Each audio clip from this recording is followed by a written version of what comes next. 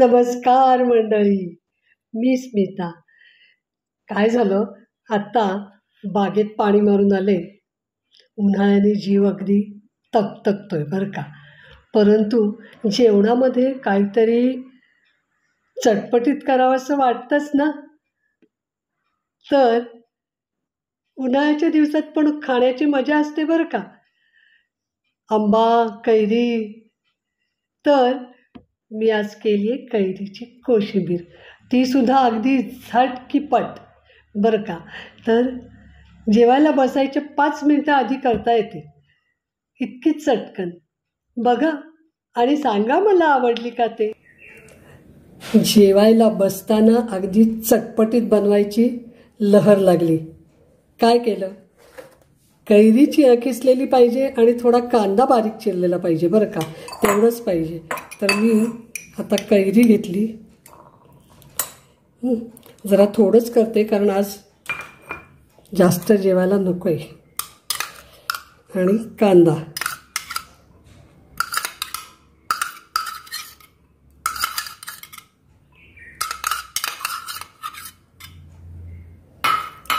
कैरी कांदा घेतला.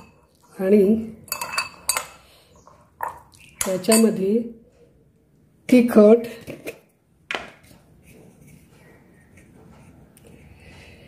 ही बॅडगी मिरची आहे बरं का म्हणून एवढी नाही तर फार कमी घालायला लागते. तिखट मीठ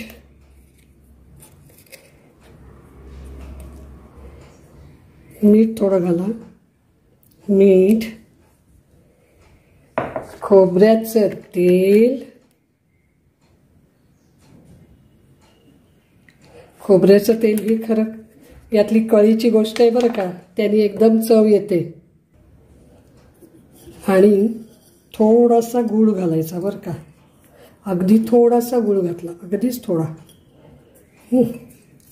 बस आता हे घ्यायचं जेवायला. दाखवते.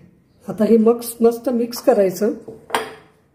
आणि हे असं हाताने मिक्स केलं की छान होतं तयार तुम्हाला दिसायला हे साधं दिसेल. पण चव घेतलीत की तुम्ही वारंवार बनवाल. वारंवार म्हणजे काय? मी कैरी कधी आणते आणि कधी करते असं होतं मला. एकदम चटपटीत मस्त. तुम्ही सुद्धा करून बघा आणि सांगा हं मला.